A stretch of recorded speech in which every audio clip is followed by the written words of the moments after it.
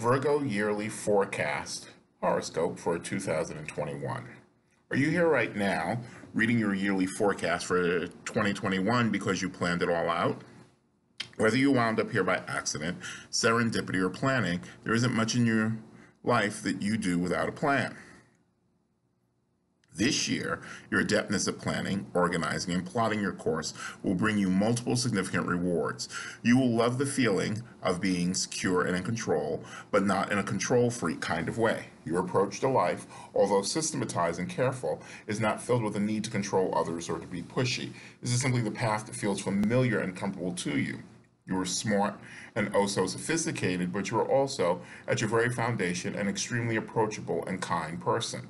And while the traditional perception of your personality might be that you are persnickety, picky, and prudish, you're really none of those things. Well, perhaps a bit picky, but in a good way.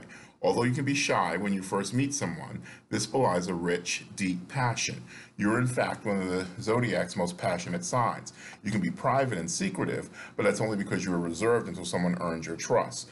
You're also someone who works very hard without complaining because you take your obligations and responsibilities very seriously. This year, your focus and efficiency will be quite useful in propelling you to a higher echelon, both personally and professionally.